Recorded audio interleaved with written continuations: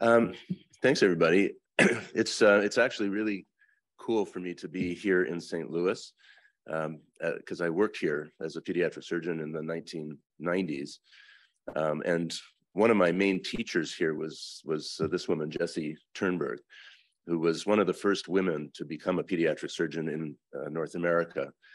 Um, she was the chief of pediatric surgery at St. Louis Children's Hospital for probably 30 years and uh, she was at the tail end of her career when when I was working here, and so uh, I learned a tremendous amount from her, and I just wanted to dedicate this to her. She was uh, an amazing woman. She died about five or six years ago, I think, in her late 90s.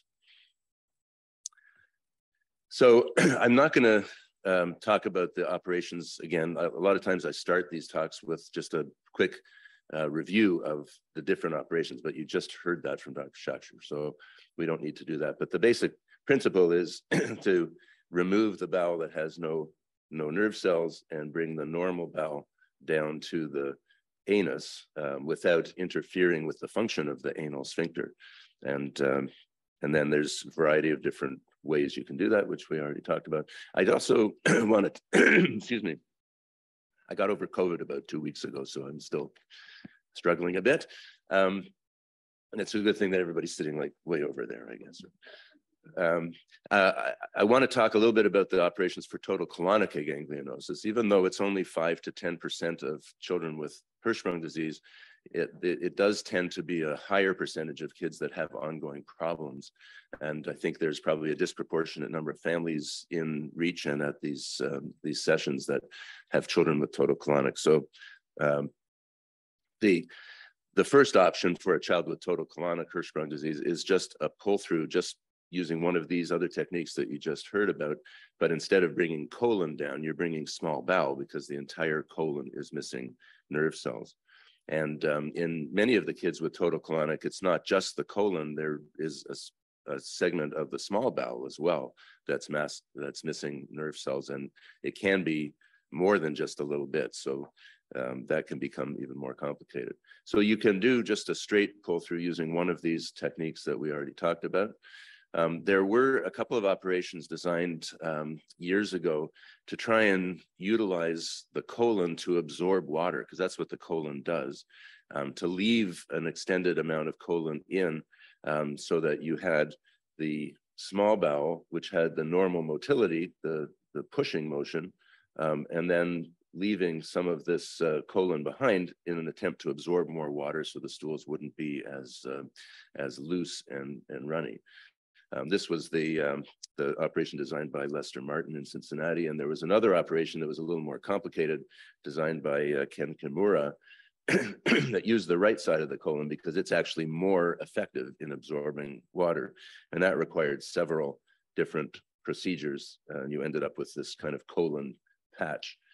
Um, both of these operations um, turned out not to be very good. They were great in the first year or two of life, but uh, what ended up happening to that um, abnormal colon with no nerve cells is over time, over years, it would get very dilated and um, the bacteria would end up growing in it. They'd end up with chronic enterocolitis. So most of the people who have had these operations have, have had to have that patch of colon removed um, later on. But I'm mentioning it because you may read about it or some, there may be still some surgeons doing these operations and so it's worth knowing about. The other thing that's sometimes done is uh, the operation that we do for children with ulcerative colitis who have to lose their colon uh, or polyposis who have to have their colon removed, just creating a pouch out of the small bowel and hooking it up just uh, above the anus. This has not really been very popular in North America, but uh, in Scandinavia in particular, this is often the operation that's done for total colonic Hirschsprungs. So most of what I wanted to talk about today is the problems that kids with Hirschsprungs can have even after they've had their pull-through surgery. And you can characterize or classify these problems into three categories. One is um, persistent obstructive symptoms, unable to empty, abdominal distension, chronic constipation. The second is soiling, and the third is enterocolitis. So I'll, I'll deal with these each in turn. There are basically five reasons why a child might have continued obstructive symptoms after having a pull through. the first one is mechanical, a mechanical blockage. And usually that's related to the operation itself. Um, this is an example of a stricture, a very tight narrowing where the where the bowel was put together. And for usually because of poor blood supply or tension, um, that scars down and becomes very narrow. and, and these kind of mechanical obstructions you can usually diagnose with a rectal exam, just a, just examining the patient, um, which was harder and harder to do during COVID, but now thankfully we can get back to that, um, and, a, and a contrast or barium enema. So that's an example of a stricture. Uh, this is a child who had a Duhamel operation and um, the that uh, joining up the staple that's used to to join these two things. This is this is the original rectum and this is the pull through. That staple line fused back again, and and this big um, native rectum that didn't have any uh, nerve cells couldn't empty, and it slowly filled up with stool and caused obstruction. And this is something we see after the Duhamel sometimes. This is an example of um, of a child where when the pull through was being done, the bowel got twisted and that caused obstruction as well. So these are just some examples of mechanical obstruction, but our job as a surgeon in a child who has persistent obstructive symptoms, the first thing we need to rule out is some kind of mechanical blockage. The second thing that can happen is that the bowel we pull down, we always try and bring down bowel that has normal nerves, that's going to have normal uh, propulsive function. But sometimes that doesn't happen for a variety of reasons. And the way we diagnose that is by doing another rectal biopsy. So a child who's had a pull through, who's having persistent obstructive symptoms, you make sure there's no mechanical obstruction. And the next thing is do a rectal biopsy to make sure that the ganglion cells in that pull through are normal. And why can they be abnormal? Well, one is one reason is that when we did the biopsy at the time of the pull through, the pathologist may have told us, yeah, this looks like normal bowel, but in fact, it wasn't normal bowel. It, it, it, was abnormal. It may have been missing the ganglion cells or maybe in the transition zone. And I'll show you an example of that. Um, and in very rare cases, the, it, the pull through could have been done completely correctly with normal ganglion cells, but for one reason or another that we don't understand, those ganglion cells may have disappeared. And you saw this picture, I think, before by Dr. Shakshar. This is just an example that the, the transition zone is not symmetrical. So when we do the surgery, we do a biopsy and we might have done the biopsy like right here and found normal ganglion cells. But in fact, most of the circumference of that bowel that we pulled down didn't have ganglion cells. So there are strategies that surgeons use to try and prevent that from happening. But if you have abnormal pathology, then the function of that bowel is, is not going to be normal and you'll have persistent obstruction. The third thing is that the bowel that we pull down, even though it might have normal ganglion cells on pathology, it might not have normal function. And I don't know, Shannon, if you're going to talk a little bit about this, but sometimes we have to check after we've ensured that there's no mechanical obstruction and the biopsy looks normal, sometimes we have to check to make sure the, the peristalsis, the propulsion of that bowel we've pulled down is, is normal. And there are a variety of techniques uh, that can be used for that. The, the fourth reason why you might have obst obstructive symptoms is that the sphincter muscle in kids with Hirschsprung's disease is not normal in the sense that it doesn't relax normally. And that's a result of there not being normal nerve cells in there. Um, in normal in normal people without Hirschsprung's disease, if you blow up a balloon in the rectum to distend it, there's a reflex called a rectoanal inhibitory reflex, or RAIR. You may hear that term, R-A-I-R, where if you blow up a balloon, the sphincter muscle, as a reflex, relaxes. The pressure goes down, and that's that makes sense because when somebody's rectum gets full, you want to relax the sphincter to try and get rid of that stool. Um, kids with Hirschsprung's disease, every every kid with Hirschsprung's disease is missing that reflex. And sometimes the kids have trouble pushing the stool through the sphincter that's not relaxing normally. and the way we um, we we can do manometry, and Shannon will talk about that, but the manometry isn't that helpful in this case because every kid with Hirschsprung's is missing that reflex. Um, but what we can do is inject Botox, and you've probably all heard about Botox. We can inject Botox into the sphincter to relax it. And if the symptoms improve after the Botox, that suggests that, that this is the main cause of the obstructive symptoms. And then the fifth reason why kids can have obstructive symptoms is just that they hold the stool in, just like any kid can hold the stool in. And Hirschsprung's kids are a little bit more uh, susceptible to this problem because of that non-relaxing sphincter. So they tend to get constipated and then they pass a hard stool and it hurts. And their little two-year-old brain says, whoa, that was terrible. I'm never doing that again. And so they hold it in and hold it in, and then it just worsens the problem. It becomes a vicious cycle. So we always have to be aware that that these behavioral uh, issues, these stool holding behaviors can be um, a part of the ongoing problems that Hirschsprung's kids have. And one of the ways of dealing with that is the uh, physical therapy, which we're going to hear about, I think, a little bit later. So the next problem that kids can have is, um, is soiling. And there's a variety of different reasons why kids can have soiling after a pull through for Hirschsprung's. The first thing is that they may have poor sphincter muscle control. And that's usually the result of something that happened during the pull through.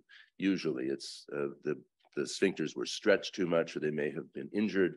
Um, and in some cases, uh, surgeons have actually cut the muscle to try and improve from the obstructive symptoms that we talked about before, um, but that will weaken the muscle and that can increase the chance of soiling. And this that's just an example of a child who had um, sphincter muscle injury during the pull through, and you can see the, the sphincter is kind of lax there. The second thing that you need for normal continence is to be able to feel when the stool is in the rectum and when it's about to come out. And um, there are some kids after a pull through for Hirschsprung's who end up with a very dilated rectum.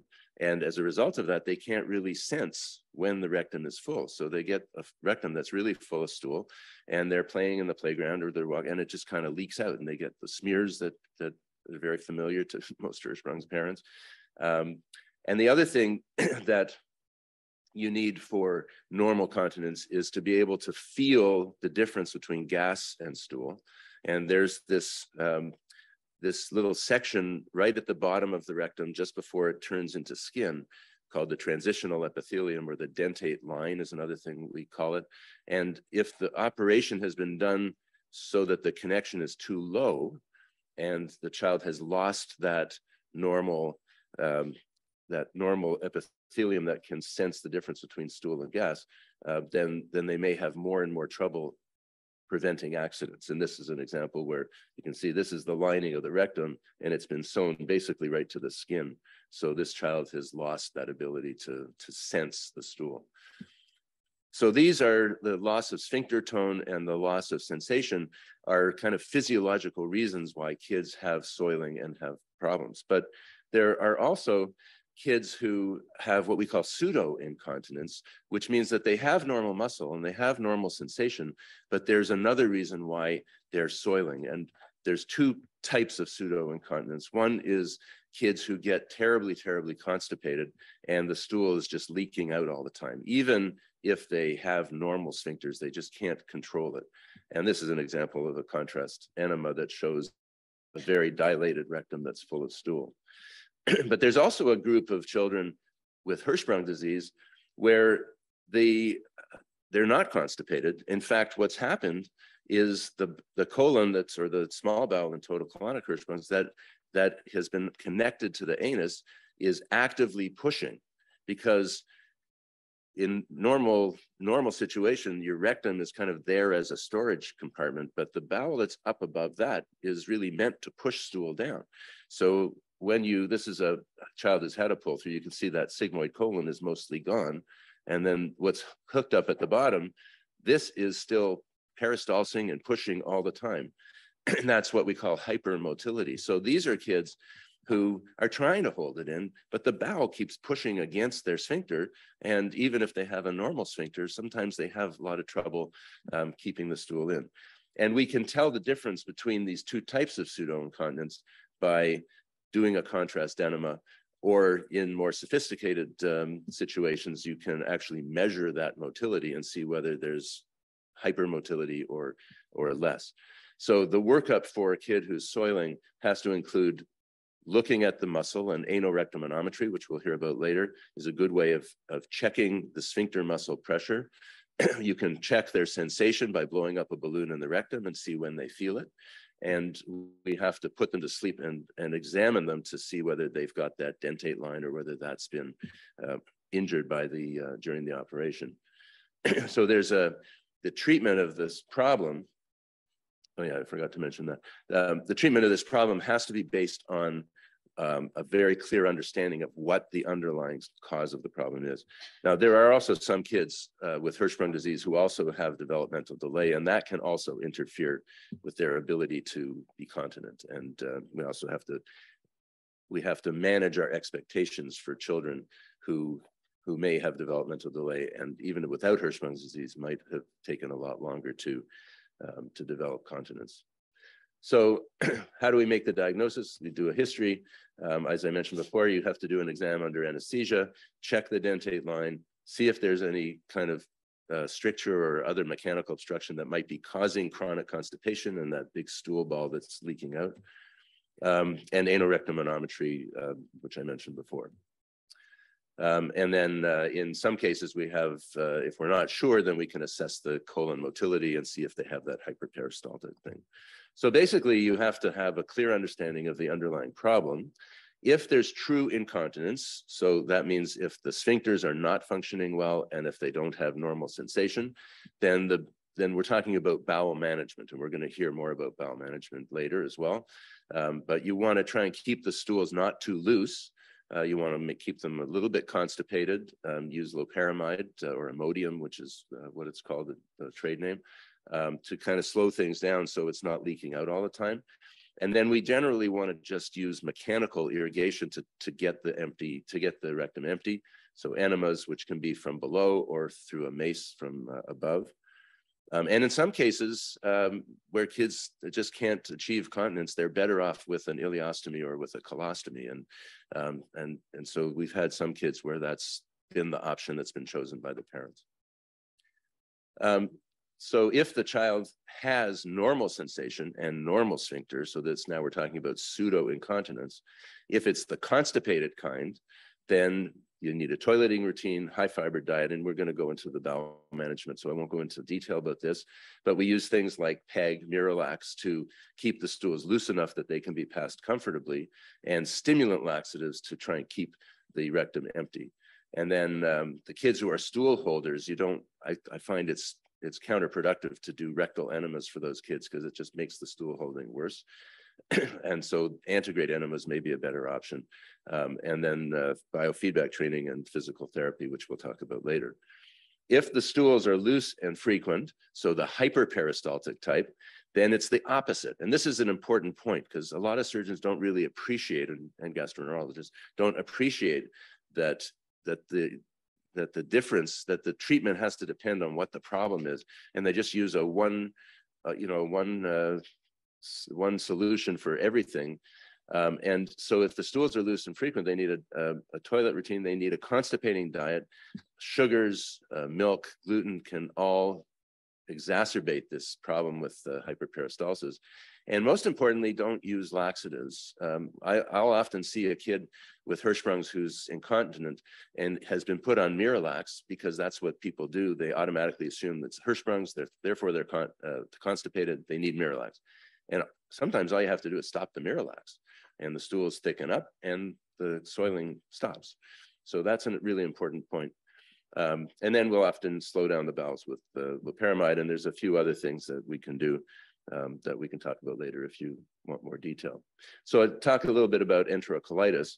uh, the symptoms of enterocolitis are, are fever, distended abdomen, diarrhea, foul smelling stools. And these kids with enterocolitis can get extremely sick. Um, some kids present with Hirschsprung's before they've had a pull through. Their first presentation is with enterocolitis. Um, but kids can get enterocolitis even after the pull through, and, and that's important. Um, and and because they can get so sick uh, it's important for everybody who has a child with Hirschsprung's and every doctor that's taking care of children with Hirschsprung's to recognize the symptoms and seek early medical attention. uh, we don't know what the cause of, um, of enterocolitis is. There's a lot of research being done, um, and I don't have time to go into all of that now. But um, we do know that it's more common in certain populations of Hirschsprung's kids, particularly kids with long segment disease, total colonic disease, and uh, trisomy 21. And as I mentioned, it, it is the most common cause of death in children with Hirschsprung disease and can occur after the pull through. So um, what I've highlighted in, in this paper uh, is that it's, uh, we strongly recommend extensive parent education and better postoperative communication between the surgeon and the referring physician um, so that everybody is aware of the symptoms and everybody seeks medical attention um, in a timely fashion if they develop them. The one thing about enterocolitis is that it seems to be worse in the youngest kids. And as the kids get older, usually by around age five, unless there's some underlying cause that's causing obstruction like a stricture or um, transition zone pull through or something, um, the vast majority of kids grow out of this problem. And so all we have to do is, is keep them free of enterocolitis and prevent them from getting sick. And then once they get older, uh, that it tends to not be a problem anymore in most kids. So how do we treat enterocolitis? In the acute phase, we do irrigations, and uh, most of you will know how to do irrigations. And if you don't, then you should learn because that's the treatment for enterocolitis. We clear the stool and the bacteria out of the colon. Um, if they have a very distended abdomen, we'll put down a, an NG tube. We give them antibiotics and intravenous fluids. And there are some kids that have this sort of chronic or relapsing enterocolitis. Um, they also need to be on chronic irrigations uh, or rectal stimulations in some cases are adequate. Um, I use metronidazole or flagyl quite liberally in these kids because it's very effective in suppressing, first in treating and then in suppressing um, the recurrent episodes of, of enterocolitis. Um, some people have tried probiotics. There have been a couple of randomized trials that haven't really shown efficacy, but I think in individual patients, sometimes it is helpful. So something to talk to your doctor about. Botox we talked about before does re does relax the anal sphincter, can decrease the amount of backup of bacteria in the colon. And there is some evidence that if you uh, have a child with recurrent or chronic enterocolitis, that using Botox may help to prevent hospital admissions for enterocolitis. And in some kids, um, they just can't seem to stop getting enterocolitis no matter what we do, and giving them an ileostomy or a colostomy is um, the only way to really keep them safe. And in most of those cases, once they get old enough, like over around age five or six, when the enterocolitis becomes much less of a problem, a lot of them can get that ileostomy or colostomy closed up again. Um, I just wanted to mention the Hirschsprung's alert card, which REACH um, has developed, and I think is really, really helpful to um, for families when they go to an emergency room worried about their kid having enterocolitis because uh, it has all of the uh, the instructions for the, the the doctor in the emergency department who may never have even heard of Hirschsprung's disease, never mind never have heard of uh, enterocolitis. So this has been a really uh, useful tool. Um, and then there's the Hirschsprung passport, which hopefully will be converted to kind of a, a um, an electronic passport that you'll have on your phone that will also um, give in, important information to the primary care providers when you bring your child to the emergency department. So in summary, most children with Hirschsprung's do very well after surgery. You know, I've spent the last half hour talking about all the problems that can happen, but many, many children do very well after, after their pull through. And most of the problems that they do have, the obstructive symptoms, the uh, soiling issues and enterocolitis, most of them do improve over time. And um, and uh, Dr. Shakshir showed you that uh, the, the data that actually documented that that is the case. Um, and this this is Jessie Ternberg again. This is a patient um, of of hers that uh, I met when I moved to St. Louis. Um, he was born with total colonic plus about two thirds of his small bowel that were aganglionic. And in fact, at the hospital where that diagnosis was made, they decided they were going to treat him palliatively and uh, just just let him go. And the mom said, there's no way that's happening. She found Dr. Ternberg and brought him to Children's, and she did a number of different operations for him. He would, required intravenous nutrition for a long time. And uh, this is, this is, um, his name is Mark. This is Mark with Dr. Ternberg when he was uh, about 10 years old. And this is when he was about uh, 25 years old. So an example of how kids with Hirschsprung's can have many, many problems when they're uh, when they're little, but uh, most of them do get better over time, and that's the trajectory that we all need to be looking at. Um, and then the other thing is that effective management of these problems has to be based on a clear understanding of the underlying problem. And um, the APSA, Hirsch, APSA is the American Pediatric Surgical Association, and we've we've got a Hirschsprung's interest group that um, Dr. Goldstein and I kind of manage. And um, we meet once a year, and we've done a, a lot of um, work on trying to create algorithms or decision-making tools for surgeons and gastroenterologists to uh, to help them to kind of figure out what's going on with these patients. And we published these, and I'm not going to go through it, but this is the algorithm for obstructive symptoms, and this is the algorithm for children with soiling. And, and I think that's been very, very helpful. And REACH has been very um, helpful with the APSA interest group as well. Um, Eric usually comes to our meetings every year and uh, and tells the surgeons what's happening and what REACH is doing. And, uh, and I think Eric learns a lot from uh, from the surgeons as well. So I'm happy to answer any questions if anybody has any. Eosinophilic esophagitis and Hirschsprung's disease. I that might maybe Shannon knows the answer to that. I don't think so.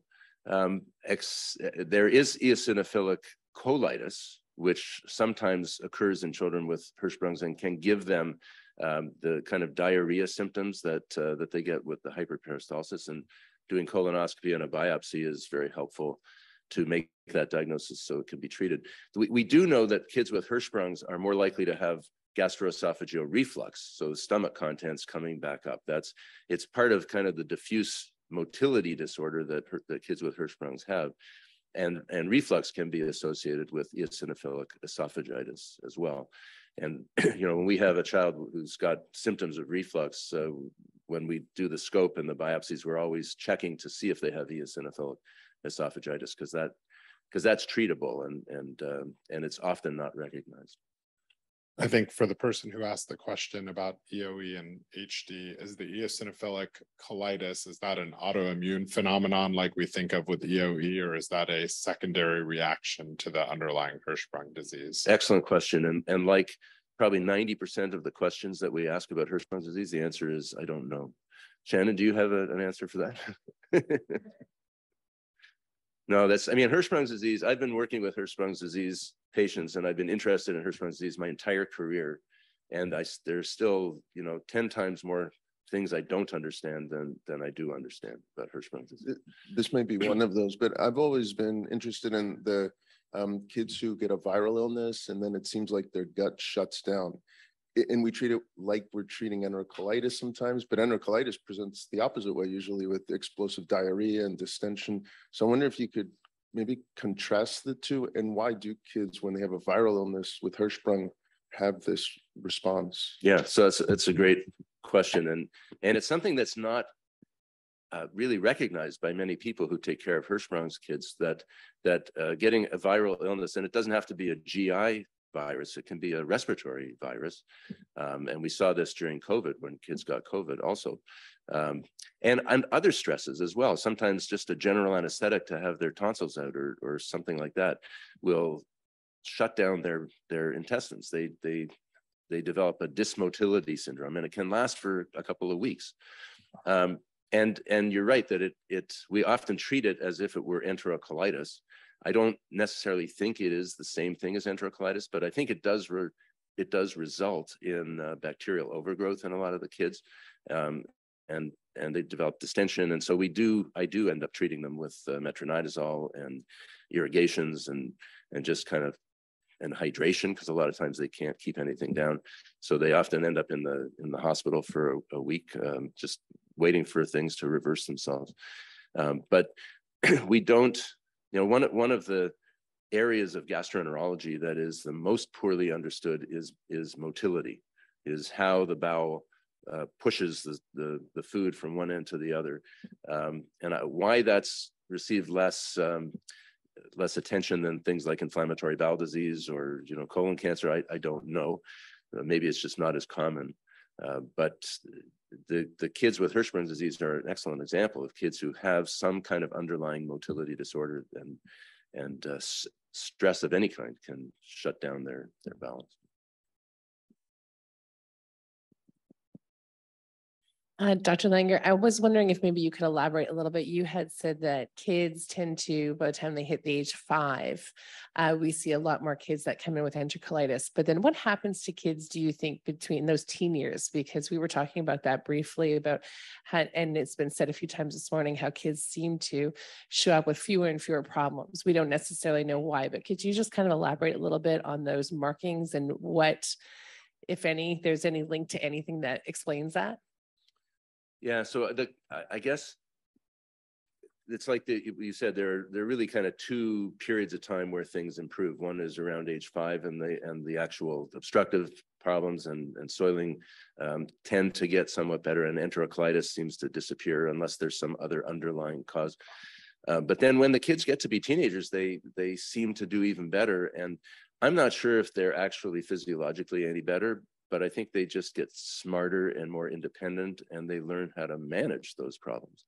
Because those problems, you know, if you look at the long-term data, the long-term outcomes, you know, people in their 20s and 30s and 40s, if you ask them, are you having problems with your, a lot of them will say, yeah, I'm still having problems, but does it affect their quality of life the same way as it did when it, they were 10? No, because they've learned how to figure it out and uh, and and manage it. So that's that's my guess is that we're actually there's not there's nothing physiological that happens. It's just that they get better at at managing the problems. I don't know. What do you think, Allan? Or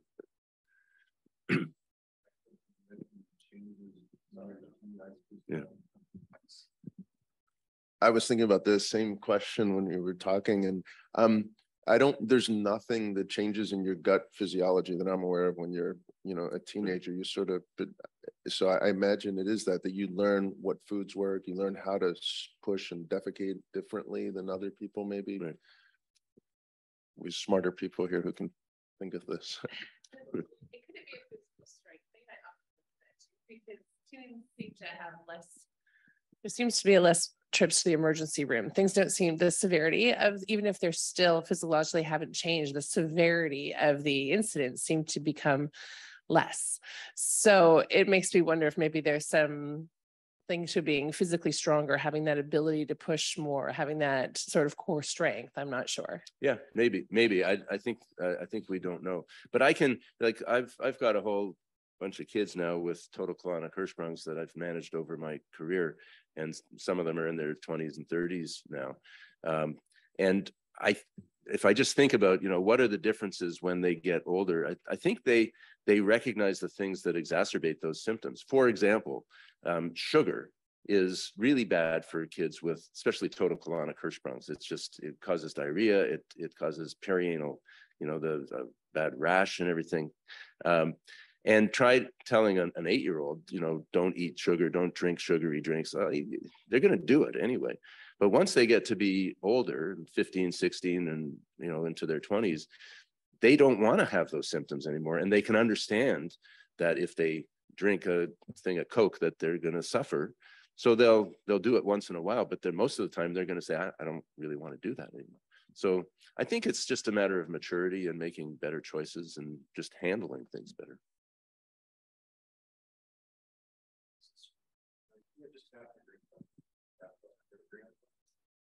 Excellent. Um, so when I think about as a parent, uh, now it's 15 years ago, 16 years ago, the most frightening and vulnerable time was at birth for us. And um, we also at Reach get a lot of, you know, frantic inbound Yeah. uh, um, from parents who are during this most uh, frightening time. And I- then I think about what you guys have talked about with regard to diagnosis and the pathology and how there seems to be um, that that's a really critical um, moment because if you get the transition zone wrong or if you don't do things properly, um, it has a lifetime impact. So can you talk a little bit about some of the innovations or directions that we need to go around pathology and diagnosis? Maybe for both. Yeah. Or maybe you can. Bader. That was part of your, uh, your talk. So like innovations that have improved our ability to make the diagnosis of Hirschsprung's and identify the transition zone intraoperatively. So we don't have this problem of transition zone pull through. Yeah, it's a, it's a really great question. Um, there are, um, surgically in terms of technique wise, I think it was actually your paper here with Frances White, who's still practicing just a few miles down the road that looked at what is the length of the transition zone.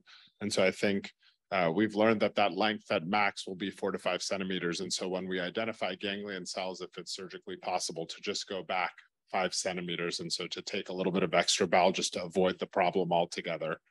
Um, sometimes that's not possible, especially in the longer segment disease, because you're really talking about changing the operation fundamentally. Um, but that's certainly probably the easiest kind of upfront option. Um, there has been more and more uh, investigation as to can we get a secondary way to identify what is going on with the bowel. Um, we, you know, classically, we, we showed pictures of what's called H and E staining or that kind of purple and pink stain. Um, we have been much more aggressive early on with acetylcholinesterase staining, which was a, another, another marker of Hirschsprung disease, but recently calretinin staining has come on as a even more sensitive and specific way for the pathologist to look at things. I think the problem with that is that that pathology still takes a couple of days to come back. You can't get that on quote frozen section or kind of immediately my child is in the operating room and asleep. Can you give me the answer? Um, there are other people who have looked at technologies for diagnosing Hirschsprung disease. Um, uh, there's some work out of Riley Children's looking at this, uh, the idea of like an electronic nose. um, that's still very early on in its in its it's in its infancy, and so we don't know we don't know if that's just going to be a yes no output or a uh, how things are going output. You know, as as Dr. Langer said, our understanding of motility and how this actually works, and even being able to relate the pathology findings to the actual outcome findings is still um, crude. Dr. Goldstein, did you want to add anything else? No, that, that was really, thorough. there's a lot of uh, research and things like um, confocal endomicroscopy or these fancy optical imaging methods so that maybe one day we can just do a, put a scope in and see the nerve cells without having to take a biopsy. But the, um, the problem is at the end of the day, it's the, the remain, even if you removed all the aganglionic and all the transition zone, it seems, at least in mouse models and some studies in humans, that the remaining enteric nervous system are just not normal. Like in one mouse model we use, they're missing uh, GABAergic neurons. They're missing a specific type of neuron in the entire small intestine. And in others, the balance between neurons that make the gut squeeze and neurons that make the gut relax, that balance is completely perturbed. So it, it may be that just understanding the issues that can happen and how you manage them may be ultimately all we can, you know, do until, like you said, new therapies are developed. Yeah, I would also, uh, I would also say that there's such variability in the way kids with Hirschsprung's present. You could, you have two kids with a transition zone in their rectosigmoid in exactly the same place. One presents as a bowel obstruction as a newborn. The other one just has chronic constipation and at five years of age is finally diagnosed. Why? Why is that different? Well, it's because I think of, of other abnormalities that we haven't yet figured out in the rest of the intestine. And some of those may be coded for by the specific gene mutations that uh, we know there's many different gene mutations that uh, can cause Hirschsprung's disease. And that's the HDRC, the Hirschsprung's Disease Research Collaborative, um, is collecting hundreds and hundreds of cases of Hirschsprung's um, and trying to correlate the genetic mutations with the um, specific symptoms and responses to surgery and risk of enterocolitis and all of those outcomes. Um, and so hopefully in the future, we, we may be able to use personalized medicine based on genetic mutation to be more to kind of fine tune the surgery we do and the postoperative care that we that we deliver. So um, those are some of the things that are on the on the horizon. I can't resist because we have such an amazing group of people here to ask another question, and that is thinking about the improvement of most patients over time, including total colonic patients. Is there any evidence that the physiology gets better? Yeah, it depends how you define the physiology. I- mean, like, does the colon, if there is any that's left, does it actually self-heal? Do, or if it's total colonic, does the, uh, you know, the, the, the, the, um, um, the, the, the Small- small the small intestine. does it actually learn how to be more like a colon? And what do we know about that kind of thing? Yeah, that's a good question. I, I don't think that's really been studied. I mean, people, um, you can do manometry, you can, you can measure the motility of the colon, of the, of the entire colon or the small bowel. Um, but I don't think those studies have been done, like sequential studies looking at age two versus age five versus age ten. Uh, I'm, I'm not aware that those studies have been done, but those, that would be, that would be good research to do, I think. The other thing I wanted to mention, just you're talking about, um, you know, how, what are the things on the horizon for helping to manage these issues of pathology? We live in, in, in a very privileged environment in North America and in Europe.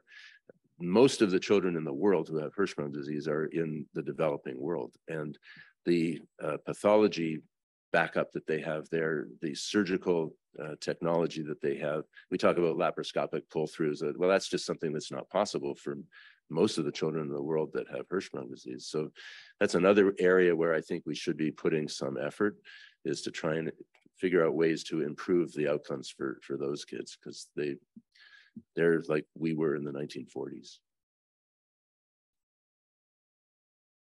Uh, Unless anybody has any other questions, I think we'll move to a coffee break and we'll get, we'll come back around 10:35, 10:40.